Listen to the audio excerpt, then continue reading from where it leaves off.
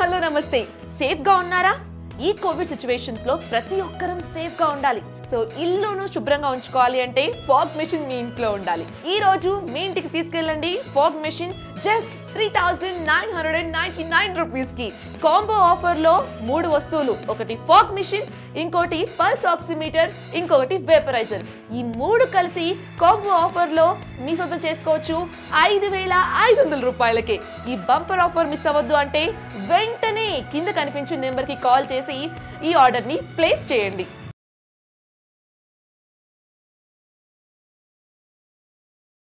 శుభమస్తు. ఈరోజు చాలామంది స్త్రీలకు మంగళసూత్రాన్ని ఎప్పుడెప్పుడు మార్చుకోవాలి అనేటువంటి సందేహం కలుగుతుంది. కాబట్టి దాని యొక్క సందేహానికి తగ్గ విషయాన్ని తెలుసుకుని ఆ సందేహాన్ని నివృత్తిని చేసుకునే ప్రయత్నం చేద్దాము. ముందుగా మంగళసూత్రం అంటే కనుక సుమంగళి అందరూ కూడా మంగళసూత్రాన్ని చాలా నిత్యము కూడా వాళ్ళు చాలా జాగ్రత్తగా భద్రంగా దాన్ని చూసుకుంటూ ఉంటారు. అలాగే మంగళసూత్రానికి మరొక పేరు ఏమిటి అంటే తాళి అని. ఆ తాళి అనేటువంటి అక్షరానికి అర్థం ఏమిటి అంటే తాటాకులతో తయారైనటువంటి పదార్థం కాబట్టి కాబట్టి తాళి అనేటువంటిది వచ్చింది.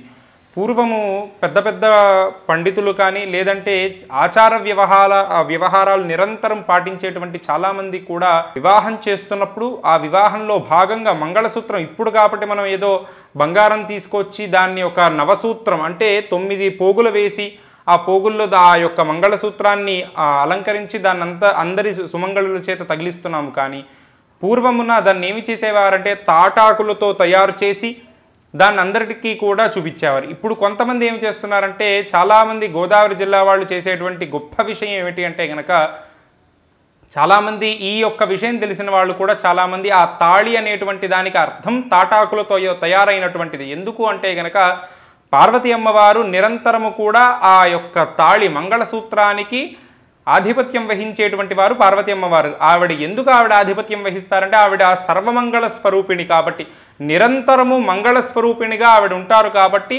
ఆ మంగళసూత్రానికి ఆధిపత్యం వహించేటువంటి వారు అమ్మవారు పార్వతి అమ్మవారు. కాబట్టి ఆ మంగళసూత్రంలో ఆ తాటాకుని తీసుకొచ్చి దాన్ని ఒక చిన్న చిన్న పదార్థంగా తయారు చేసి ఆ మంగళసూత్రంలోనే దాన్ని ముడివేస్తున్నారు.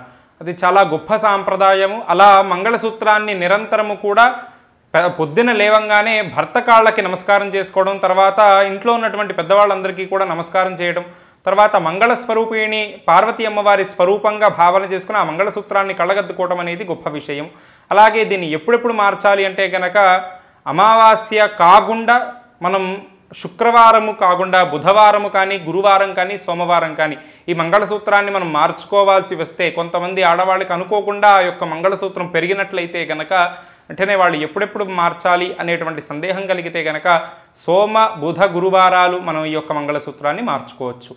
అలాగే మంగళసూత్రం మార్చుకునే ముందు ఆ మంగళసూత్రానికి ఆధిపత్యం వహిస్తున్నటువంటి పార్వతీ అమ్మవారికి ఒక్కసారి నమస్కారం చేసుకుని ఆ మంగళసూత్రం మార్చుకోవటం అనేది మంచి సా సాంప్రదాయం అలాగే గొప్ప విషయం కాబట్టి ముందుగా పార్వతీ అమ్మవారికి నమస్కారం చేసుకోవాలి. ఆ తర్వాత ఆ మంగళసూత్రాన్ని మార్చుకోవటం మంచి విషయం. శుభమస్తు.